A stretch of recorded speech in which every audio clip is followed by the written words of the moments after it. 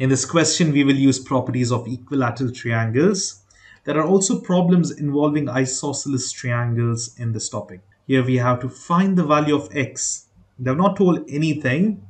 The topic heading is of equilateral triangles, but they will they should tell you in the figure in the question. Otherwise, you can't just assume it. Now here you can see they have told all the three lines are equal.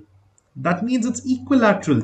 Then all the angles must be 60 degrees. Otherwise, it cannot be equal to each other and it cannot be equilateral otherwise. So here 60, 60, 60 makes it 180. That's equilateral triangle. So each side is 60 degrees. Now we have 6x over here. That means 60 degrees is equal to 6x or 6x is equal to 60 degree. So let's divide both the sides by 6. You will get 60 by 6 that is 10. This is it. This is the answer. That's option C. Now, what about the next one? Here, we have to solve for the DE, the side length DE, and then DEF. DEF is this angle. They have not told anything else, but the figure is given to us. We need to use distance formula. I'll do it in distance formula, and then I'll teach you some other shortcuts as well. Another thing is, you you don't have any other information only this 90 degree. So um, let me first find the distance d and then i'll tell you what uh, else you can do you know? So first let's find d. That'll help us. What is the coordinates here? We'll use distance formula to find it. 1 2 3 that is 3 comma what is the height? 1 2 3 4 5 6 and what about this it's on the axis it's 0 that's the x value first is x and next one, it is 6 over here, 7, 8, 9. And what about the formula? Which one to take as x1 and x2? Before that, I'll write the formula here. The square root of x2 plus x1, the whole square. Sorry, x2 minus x1. My bad, this is minus. And then you plus it with y-axis. x2 minus x1, the whole square, plus y2 minus y1, the whole square. This is the formula. Now you can consider this as x1, then this next one will be y1. You can consider this to be also x1, then this should be y1, but I've done x1 already, so I'll take this as x2, y2. You can interchange them. You can make this set x1, y, uh, x2, y2, this as x1, y1, answer will be the same.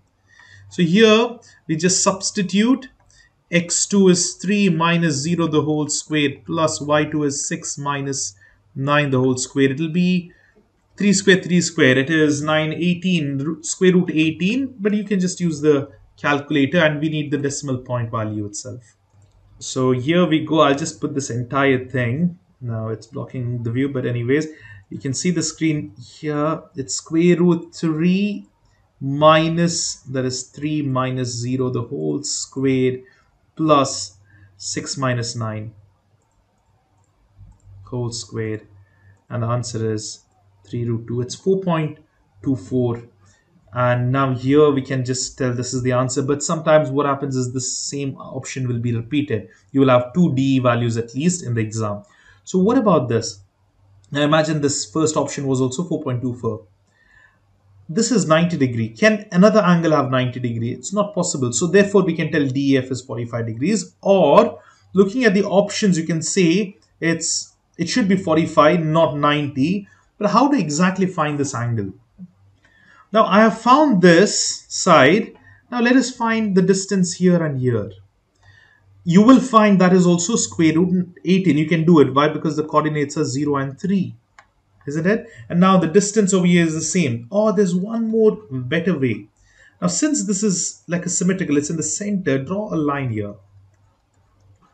Draw a straight line and we will do Pythagoras theorem. That is, what is this distance? 1, 2, 3. This is 3. What is this? 1, 2, 3. It's at the point. Easily, we can find this hypotenuse. It's the sum of squares of the other two sides. It's 3 squared plus 3 squared. What about this one? 3 and again this is 3. It is 3 squared plus 3 squared. That means these both the sides are same or equal. It's 4.24, 4.24. In such cases, then this is isosceles and this is 6, the total length. It's not same. Whenever there are two legs that is equal, it's called isosceles triangle. So now isosceles triangle have their base angles, the leg angles also equal. So if this is 90, these two must be 90 and they're equal. It should be 45 and 45 degrees. So therefore, those are the correct answers. So you can easily do it using Pythagoras theorem rather than the distance formula, whichever you're comfortable, you can select that. Now I'm going to use the Pythagoras theorem over here. So this is the center. So what is this distance? It's 1, 2, 3, 4, 5, 6. I didn't even read the question. I'm, I know we are to find all the sides.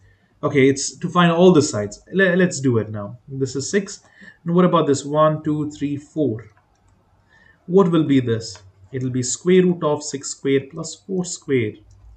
So that is 36 plus 16. You can just put in the calculator and get the exact value. Or over here, I'm just going to write 40, 52, square root 52. Now, what about this one here? This is same. What about 1, 2, 3, 4? Again, it's the same distance. So we are going to get this is square root 52, square root 52 that's the distance. And this uh, long length is 8 you can just count linear right? It's a straight line. You can just count them out. This is total 8 that is RT is 8 ST is square root 52 SR is square root 52 this angle is 56 that means this is isosceles triangle so this also has to be 56 now you know two angles. We have to just find this. It is 180 degrees will be equal to total angle right 56 degrees plus 56 degrees plus x. So take it to the other side, it will be 180 degrees minus 112 degrees, that is x. So here we go, that will be 68 degrees. So that is the angle S. There are different ways to solve it. It's just electronic, no need of writing. You can just use a calculators and solve it directly. So here we go square root 52 is about 7.2 units. It's just more than 7 because square root 49 is 7 and it's a little more than that. And what about the angles? It's 68, 56 and 56. We just did this in the MCQ as a multiple choice and you can see here it is square root 18. This is wrong. It should be 3 root 2. Isn't it? Because 9, 9 is 3 root 2. So that is wrong. Uh, it is either 3 root 2 or root 18, which was 4.24, I believe. And then we found this was isosceles, so it has to be 45 and 45 degrees. What about this one? This is equilateral. Oh, no, wait a minute. Yes, it is equilateral. Why? Because this is 60. We don't know these two angles, but they have told this, this side and this side is equal. So that means that's isosceles over there, and these must be equal. But we know this is already 60 so it has to be all 60s because see x plus x and we know 1 is 60 that must be equal to 180 degrees isn't it? So it'll be 2x plus 60 is equal to 180 degrees. Or you can just take it over there 2x is equal to 120 because 180 minus 60 is 120 x is 60 uh, remember three angles these two angles must be equal but one is 60 that means all are 60 because the equilateral has to have 60 another thing now the sides are equal. Why? Because it's equilateral. Now how we can find x is 3x plus 8 is equal to 4x minus 4. Now we can solve it up. 8, 4 comes over here plus 4 equals 4x minus 3x. 12 is equal to x. You can also do these equations directly in the calculator. I'll show you how. All you do is write this variable as x itself. Alpha and closing bracket symbol gives you x plus 8 the equal to is by alpha and calc that gives you equal to 4x plus minus 4 sorry. It's shift and solve. Now wait a minute. If you press equal to you will not get the answer because you have used the equation equal to. So you need to press shift and then solve this equation. This is not the answer. Press equal to now this is the correct answer. Okay this whatever when you press equal to first time shift equal to you'll get the previously stored answer. So now this is the correct answer now say for example, I'll just change this to plus 2. Shift and solve. This is not the correct answer. When I press equal to now, this is the correct answer. I hope that's clear. And here we go. What about this one? 3, 3. And there is 60. So now here, 3, 3, this has to be 60 and 60. And if it's 60, then all are 60. And that's it. Measure of angle B is 60. And AC is 3 because it's an equilateral triangle over here as well it's the same thing we have to solve this this is equal to 60 6x equals 60 is uh, giving you x is equal to 10 And what about this one? See, this is equal, this is equal. So bases must be equal. We did a similar problem. Now 1 is 60, then this has to be 60 and 60 degrees and the side length would be 777. Look, this is electronic part. You don't need to do any methods, no need of writing. Just choosing the correct answer, right? Look at this, write it and choose the correct one here as well. Now here we know all the angles are equal. Then it has to be equilateral because it's only 60 degree possibility. So all of them are equal. So each of them is 60 degrees here, here and here. But they have told this is 3x. So 60 degree is equal to 3x or divide both the sides by 3. That will give you 20 is equal to x. So answer is 20. So that's it. What about this one? Again, we know it's an equilateral because all are same, but they're not telling us to find the sides. They're asking x value. So x value is basically 4x equals 40. Why? Because this all sides also are equal in an equilateral triangle. So divide both the sides by 4, x will be equal to 10. That's it. A real world problem. I mean, it's it seemed like what we just now did. Here they have told some tortilla chips can be modeled by a triangle. Solve for x. So now we have to solve x over here. See what is given to us? They have told this one and this one is equal. That means these two angles must be equal. But look carefully here, this and this angle is equal.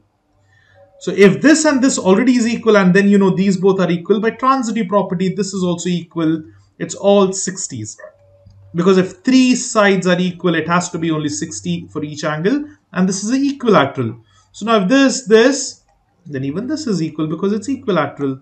6x plus 3 is equal to 27 6x is equal to 27 goes to the 3 goes to the other side will be 24 x is equal to 4 that's the answer. And they'll ask you to find the y as well. Just make this equal to each other. That means all the angles are equal. It's 2y. Oh, sorry, don't make it equal to each other. See, now what happens if you make them equal to each other? They're literally the same. They cancel off. It's 0 is equal to 0. It's identity. Now, you need to know what is the angle. You know, 2y plus 4 is equal to 60 degrees. So now we can solve it. 2y is equal to 4 to the other side minus 4. So it will be 56 degrees. And y is equal to 25 and 26. 20, uh, 28 sorry this is 28 y is equal to 28 value that's how we solve this one. And what about this?